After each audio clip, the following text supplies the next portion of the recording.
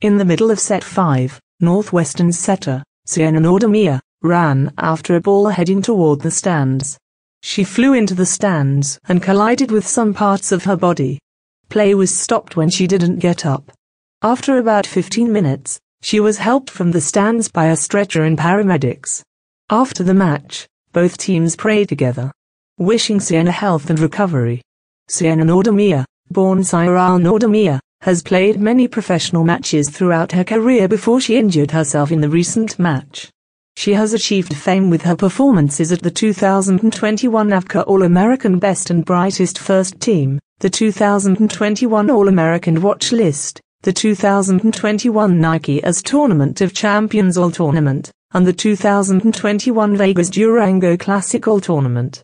Nebraska has a full week of practice, which Coach Cook says he is really looking forward to. He says this gives them a chance to really work on skills and plays. He was also baffled by the inconsistent play against Northwestern.